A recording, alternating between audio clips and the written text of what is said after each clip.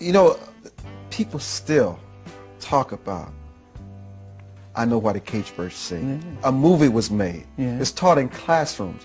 I mean, you can rarely talk. You can, it's, you can rarely t- talk to anybody over in the world and mention Dr. Angelou, and the first thing out of their mouth, I know why the cage birds sing. Well, why is that bird still singing though? Maya Angelou is a literary legend. Full stop.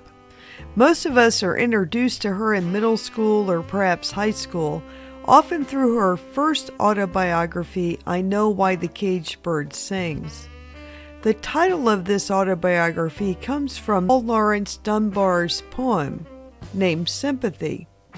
Here's a clip of Maya Angelou reciting Dunbar's poem. That's a poem written by Paul Laurence Dunbar in 1892. The poem is called Sympathy. And uh, I'd like to say this poem to you. Oh, yes. For you and for your, your viewers. I know what the caged bird feels on me when the sun is bright on the upland slopes, when the wind blows soft through the springing grass, and the river floats like a sheet of glass, when the first bird sings, and the first bud opes, and the faint perfume from its chalice steals, I know what the caged bird feels. I know why the caged bird beats its wing till its blood is red on the cruel bars, for it must fly back to its perch and cling when it fain would be on the bough swing. And the blood still throbs in the old, old scars. It pulses again with a keener sting. I know why it beats its wing. And I know why the caged bird sings. Amen. When its wings are bruised and its bosom sore, it beats its bars and would be free. It's not a carol of joy or glee, but a prayer that it sends from its heart's deep core, but a plea that upward to heaven it flings. I know by the caged birds. Marguerite Annie Johnson, also known as Maya Angelou, was born in 1928 in St. Louis, Missouri. When her parents divorced, she and her brother were sent to live with their grandmother in Stamps, Arkansas. Eventually, she returned to live with her mother in St. Louis, where, horrifically, Angelou was raped as a young girl by her stepfather. Although he was convicted of the crime, he served only one day in jail, but was later murdered, probably by Angelou's uncles.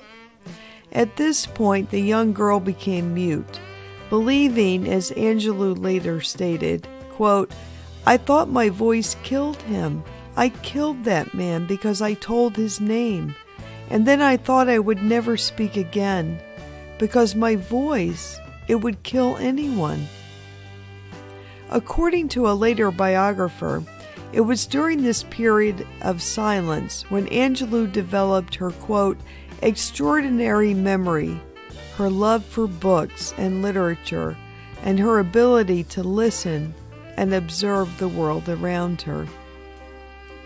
During her teenage years, Angelou lived with her mother in California, where she became the first black woman to look, work as a streetcar conductor in San Francisco. In Caged Birds, she writes, quote, I clanged and cleared my way down Market Street with its honky tonk homes for homeless sailors, past the quiet retreat of Golden Gate Park, and along closed, undwelled in looking dwellings of the Sunset District. She gave birth to her son at the age of 16 and then needed to take various jobs to support him. In a later interview, Angelou once said, My greatest blessing has been the birth of my son. Her son was an author like his mother, writing a number of books, including Standing at the Scratch Line. When he was asked at one time what it was like growing up in the shadow of his beloved parent, he replied, quote, I didn't. I grew up in her light. Sometimes I wasn't worthy of it, but it's always been an experience that expanded me. Eventually, Angelou moved to New York City, where she was affiliated with the Harlem Writers Guild and worked for Martin Luther King Jr.'s civil rights organization. Angelou published her first autobiography, I Know Why the Cage Bird Sings, to critical acclaim. She went on to be a very prolific writer and also performed in films and on Broadway. In addition to her autobiographical writing, Angelou became celebrated for her poetry. Her works, such as Just Give Me a Cool Drink of Water For I Die, which was published in 1973 and was nominated for a Pulitzer Prize, and And Still I Rise, which appeared in 1986, explore personal agency, the strength of women, spirituality, and even romantic love. She also wrote children's books, including the Maya's World series, and cookbooks that combine personal recipes with reflections on her relationships to food and cooking. Angelou was a gifted orator and a lecturer and served as the Reynolds Professor of American Studies at Wake Forest University in North Carolina. I mean, can you imagine taking a creative writing course with Maya Angelou? Over her lifetime, she received 50 honorary degrees, the National Medal of Arts, and the Presidential Medal of Freedom, which is the highest civilian honor in the United States. Angelou died on May 28, 2014, in Winston-Salem, North Carolina.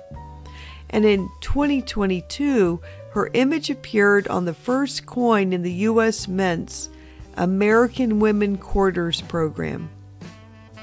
What follows is a clip of Maya Angelou reciting one of her classic poems, And Still I Rise.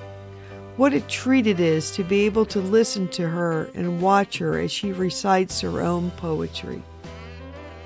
Everyone in the world has gone to bed one night or another with fear or pain or loss or disappointment. And yet each of us has awakened, arisen, uh, somehow made our ablution, seen other human beings, and said, Morning, how are you? Fine, thanks, and you?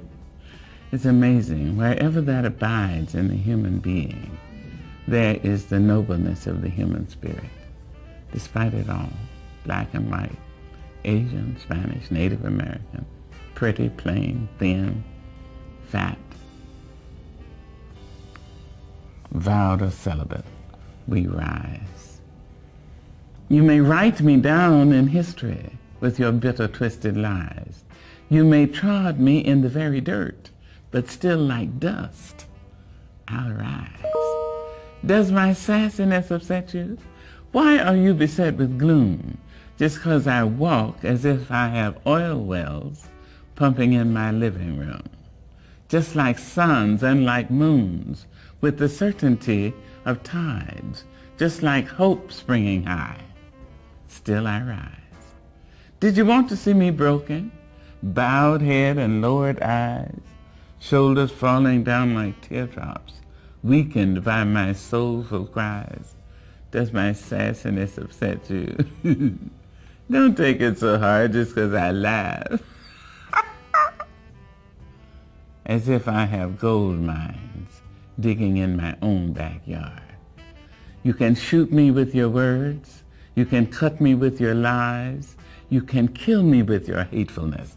But just like life, I'll rise. Does my sexiness offend you? Oh. Does it come as a surprise that I dance? As if I have diamonds at the meeting of my thighs. Out of the huts of history's shame I rise. Up from a past rooted in pain I rise. A black ocean leaping and wide, welling and swelling, I bear in the tide. leaving behind nights of terror and fear, I rise. Into a daybreak miraculously clear, I rise. Bringing the gifts that my ancestors gave. I am the hope and the dream of the slave. And so, naturally,